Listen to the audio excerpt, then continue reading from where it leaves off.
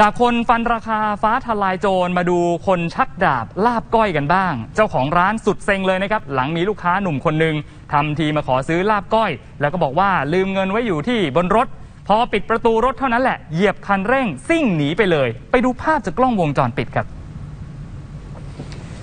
นี่นะครับภาพจากกล้องวงจรปิดสามารถจับภาพรถกระบะสีบรอนเงินได้ ท้ายกระบะมีคนนั่งมาด้วย 3-4 คนนะครับ ตอนแรกขับมาจอดข้างตลาดเทศบาลคูเมืองอำเภอคูเมืองจังหวัดบุรีรัมย์ก่อนจะลงมาซื้อลาบก้อยกับแม่ค้าร้านส้มตำพอแม่ค้าทำเสร็จก็บอกให้หลานไปเก็บเงินค่าอาหาร รวมทั้งหมด 160 บาท คนขับรถกระบะก็ทำทีว่าเดี๋ยวจะไปหยิบเงินในรถมาจ่ายให้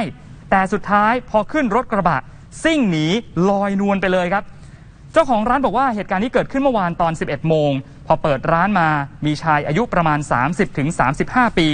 เดินมาสั่งลาบ 1 ถุง ต้ม 2 ถุง เป็นเงิน 160 บาท ถือว่าเป็นการเปิดบินแรกด้วย แต่กลับถูกลูกค้าฉกลาบหนีไปแบบนี้ ไปฟังเสียงแม่ค้าผู้เสียหายครับก็มานั่งก็แสดงว่าเจตนาโกงใช่ไหมคะเออก็ ก็คิดว่าโกงอะเขาคิดว่าเจตนาไม่จ่ายคนเรา แค่เดินไปนี้แค่รถแค่นี้ไม่ถึง 5 นาทีไม่มีทางที่จะว่าลืมตรงนี้ก็ยิ่งขายของยากด้วยค่ะ ช่วงโควิดก็ไม่ค่อยมีลูกค้านะคะ กว่าจะได้ตังค์แต่ละบาทไม่น่ามาโกงกันหรอก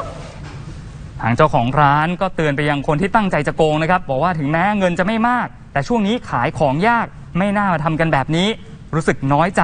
อย่าไปทำแบบนี้กับใครอีก เพราะเงินแต่ละบาทกว่าจะหาได้มันยากเหลือเกินครับ